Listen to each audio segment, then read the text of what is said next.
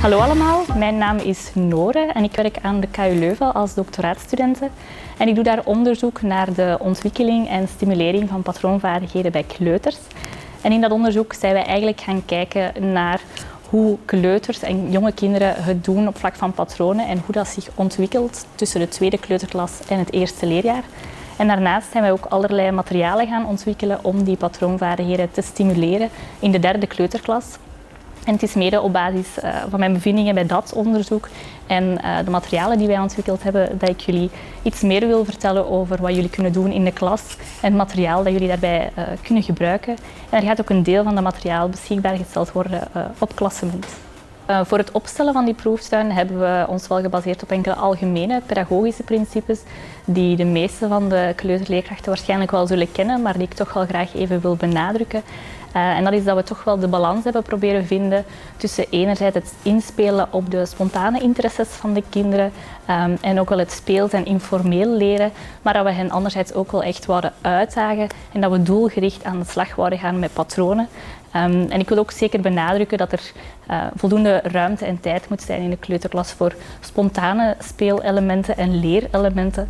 Um, maar tips en de, de, activiteiten die ik vandaag ga voorstellen zijn er om echt doelbewust en expliciet met die patronen aan de slag te gaan. En dat is volgens mij ook heel belangrijk um, in de kleuterklas, omdat kleuters toch ook wel mogen beseffen van oké, vandaag zijn we aan het leren en vandaag hebben we geleerd over patronen.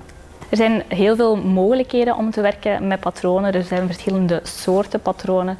Er zijn verschillende activiteiten met patronen en op die manier kan je in de klas ook heel makkelijk gaan differentiëren um, door aan uh, verschillende kleuters wel dezelfde activiteit te gaan aanbieden, maar met andere patronen. Bijvoorbeeld de ene kleuter met concreet materiaal en maar twee verschillende uh, elementjes, terwijl een andere kleuter misschien op papier uh, of met kaartjes aan het werken is en dan met patronen um, met drie of vier verschillende elementen. Um, en op die manier kan je eigenlijk ook doorheen de weken uh, heel wat gaan herhalen, maar telkens op een moeilijker uh, niveau door te gaan werken met meer complexe patronen. Uh, maar de kern is toch wel altijd de activiteit. Wat doe je ermee? En hebben kleuters op dat moment echt hun inzicht in die patronen nodig wanneer je die activiteit gaat doen? Ja, in de proeftuin zijn we aan de slag gegaan met twee verschillende soorten patronen. Enerzijds de herhalende patronen en ik denk dat de meeste leerkrachten die patronen al wel kennen. Dat zijn patronen die een stukje hebben dat telkens herhaalt. Bijvoorbeeld uh, een geel sterretje, een rood hartje, weer een geel sterretje, een rood hartje enzovoort. Um, die patronen kunnen natuurlijk ook um, gebruikt worden met bewegingen of met geluiden, ritme, stap, klap, stap, klap bijvoorbeeld. Um, er zijn daar heel wat mogelijkheden en binnen die herhalende patronen kan je dan ook natuurlijk werken met twee elementen, drie, vier elementen. Um, je kan ook een A-A-B-patroon gaan maken, zoals klap, klap, stap, um, waar je dan eenzelfde element een paar keer herhaalt.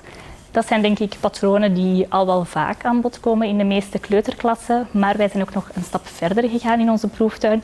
En we zijn ook uh, kinderen uh, van de derde kleuterklas uh, in aanraking gaan brengen met veranderende patronen. En die patronen veranderen um, en die um, zien er eigenlijk uit als volgt. Bijvoorbeeld een rood hartje, één geel sterretje, weer een rood hartje, geel sterretje, nog een geel sterretje, weer een rood hartje, geel sterretje, geel sterretje en nog een geel sterretje. En die patronen zijn eigenlijk ook heel interessant en ook wel haalbaar voor uh, kleuters van de derde kleuterklas. Um, net omdat er telkens een verandering is en kleuters moeten gaan inzien van oké, daar verandert iets, maar dat is ook wel volgens een bepaalde regelmaat en dat is uh, heel belangrijk bij patronen. Twee belangrijke zaken uh, bij het uitvoeren van een activiteit rond patronen zijn enerzijds het focussen op de structuur of de regelmaat van het patroon en anderzijds het gebruik van correcte begrippen. Um, wat bedoelen we met focus op de regelmaat of de structuur van een patroon? Dat is bij die herhalende patronen om te gaan focussen op dat stukje dat herhaalt en altijd terugkomt. Um, en bij veranderende patronen is dat ook gaan kijken naar oké, wat herhaalt er en wat verandert er en zit er dan regelmaat in die verandering. Um, en we kunnen dat zelf als leerkrachten gaan doen door ook um, de juiste begrippen te gaan gebruiken daarbij um, en om uh, dat ook expliciet te gaan maken. Dus om effectief te gaan benoemen van kijk, dit is de eenheid, die wordt herhaald, die komt altijd op terug, opnieuw en opnieuw. Dat zijn ook belangrijke begrippen ehm, buiten de context van patronen uh, voor kleuters. Uh, en die kunnen daarbij dus zeker aan bod komen. Bij veranderende patronen gaat het dan om begrippen, um, ook zoals opnieuw, maar ook meer, minder, veranderen. Um, dat zijn wel belangrijke begrippen um, voor kleuters, zodat zij ook beseffen van oké, dit is een patroon, want er is een stukje dat altijd herhaalt. En dit is geen patroon, dit is een rijtje waar geen patroon in zit. Um, en dat is iets dat je ook wel kan benadrukken in de les wanneer je die begrippen gebruikt. Uh, bijvoorbeeld, je ziet daar um, een reeks van elementen of een rijtje. Kan je zeggen, oké, hier is een rijtje, zit daar een patroon in? Of wie kan er nu eens een patroon gaan maken?